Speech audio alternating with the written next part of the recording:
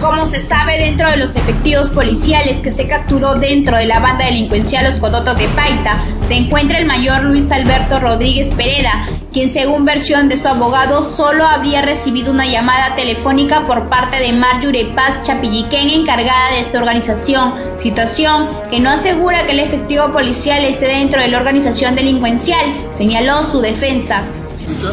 donde él está haciendo un, tipo de, una conversación o con una supuesta persona mayor que, es, que podría ser una, de una mafia que existe en, la ciudad de Paito, ¿no? Eso en su momento se va a desvirtuar porque el, mayor no está involucrado en nada, es una persona honorable, se va a determinar en su momento, se va a demostrar, la defensa va a demostrar que es una persona honorable y que y definitivamente el juez va a tener en su momento determinar la situación de situación por la cual la policía señaló estaría investigando este vínculo que originó la captura de Rodríguez Pereda. Se espera esto sea resuelto dentro de los últimos siete días hábiles que ha reportado el Poder Judicial para poder esclarecer esta situación. Por, el tema de que es un, proceso grande, es un proceso de, de asociación ilícita y lo está manejando el crimen organizado, eh, la detención me supongo ¿no? que la, la va a pedir una, una, convalidación para tener un poco más de tiempo, porque en un solo día no se pueden hacer todas las diligencias, sobre todo las diligencias que, puedan este, ayudar a, cuidar la integridad, los derechos fundamentales de, las personas, que, porque hasta donde yo sé son, eh, son 23 o 24 personas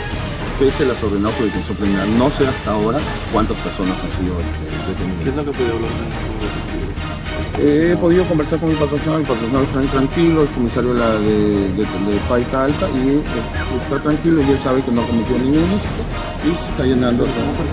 Mientras tanto, el mayor junto a los detenidos se encuentran recluidos en las instalaciones de seguridad del Estado, donde todo se encuentra apresurado por parte de los abogados de la defensa de estos delincuentes.